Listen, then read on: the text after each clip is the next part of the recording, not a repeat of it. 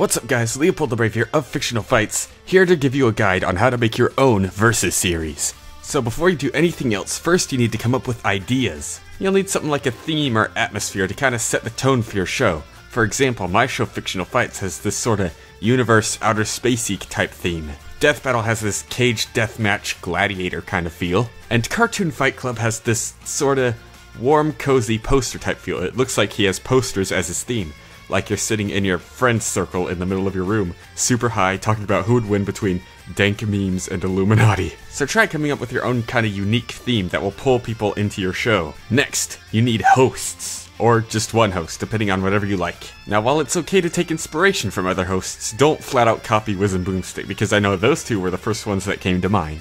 Come up with ideas for hosts that you think you would like, or ones that would make people laugh if you're going for a more comedic feel. Finally is matchups. Take two similar characters that you think would have a good fight, and try and compare and contrast them to see who would win. I'd recommend starting out with characters that you already know very well, so that way you can take it light on the research. Which brings us to our next chapter.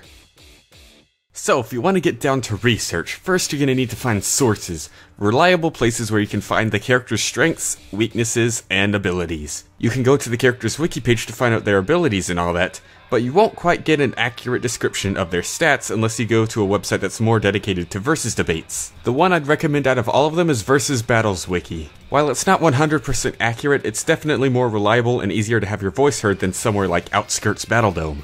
But like I said, sometimes they're not always accurate. You'll have to do research of your own as well. Which brings us to calculations and power scaling. We'll get to power scaling in a minute. For calculations and power scaling, I'll bring in a character I know very well, and by the end of both, I'll see if the results I got are the same as what someone else would say. So let's bring in Jin Kazama from the Tekken series. Now again, we'll save power scaling for later, so let's get into a calculation. Find an impressive feat of your character and use math to try and find out what their stats would have to be to be able to perform that feat. Now we all know math is pretty tough, so it might not be your forte. Luckily there are several calculation experts on Versus Battles Wiki who would be willing to help. But if you're willing to give it a try, then let's talk about speed.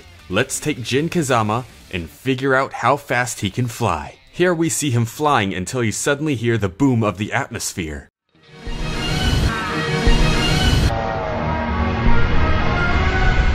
After that boom, he goes from the atmosphere to a low Earth orbit point in one second. The distance from the surface to the atmosphere is about 62 miles, which we will subtract from the distance of the surface to the low Earth orbit point. The reason why we do this is because the second started at the atmosphere and not the surface. So instead of 1,243 miles per second, it was 1,181 miles per second. Simply run it through a speed distance time calculator that you can easily find online and you get 4,251,600 miles per hour. Well, it sounds fast, but how fast? You can easily convert this to Mach speed to find out how many times the speed of sound they are going. Since we were measuring by miles per hour, let's divide by the speed of sound in miles per hour, or 678 miles per hour and we get 5,535 times the speed of sound, or Mach 5,535. 5,536 if you want to get technical and round it all out. Now we can look at a speed chart on Versus Battle Wiki to see what his stats would be. Since Jin is Mach 5,535, he'd be Massively Hypersonic Plus, since that includes characters who are Mach 1,000 to Mach 8,000.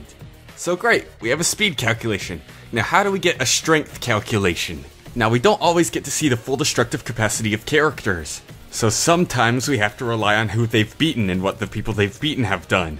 This is called power scaling. While this is a legitimate method of calculating someone's power, don't go crazy with it. Don't go, oh, this guy beat that guy who can beat that guy who can beat that guy who beat that guy's cousin who beat that guy's grandma.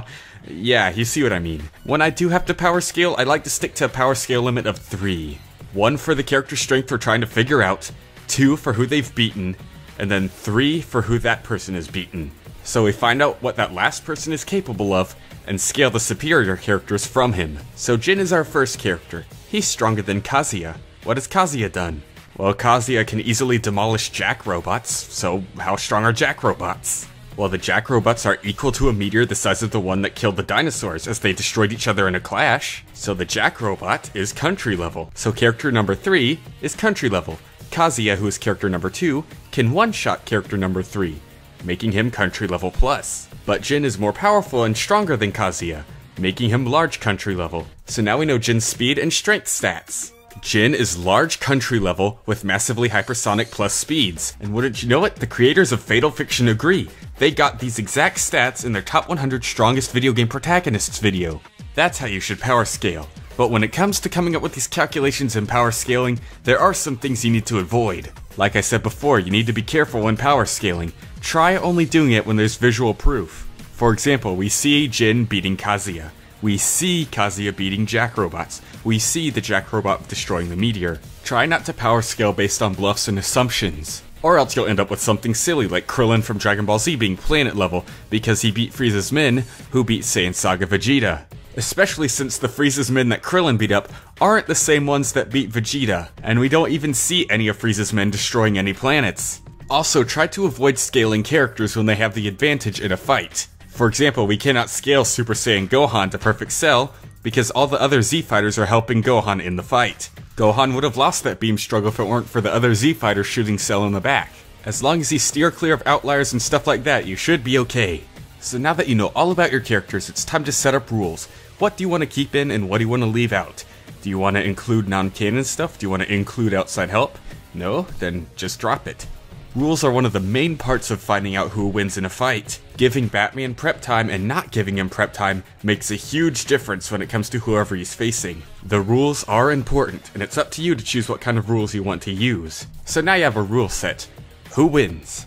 Now me personally, I have a three-step method for deciding who wins a versus debate. It goes attributes, stats, experience. Now you may be thinking, why are attributes more important than stats? Now let me answer that question with another question. What's someone with faster than light speeds gonna do against someone who can stop time? What's someone who throws planet level fireballs gonna do against someone who can reflect projectiles? I think you get the picture. Some attributes and abilities totally negate stats. That's why you need to make sure that whoever you're fighting has similar attributes so the fight is fair. And if your characters have similar attributes and stats, then it goes to experience. Who knows more? Who has the most experience fighting? How well do they know how to handle a situation? Try to find out who would come out on top from these three steps, and you'll have your winner. Oh, also, I don't have any notes. I just needed to make sure that this section had three parts, because the other sections had three parts and it was going to drive me crazy if this one only had two. So yay, I cheated. Go make your versus show and have fun doing it. Ah!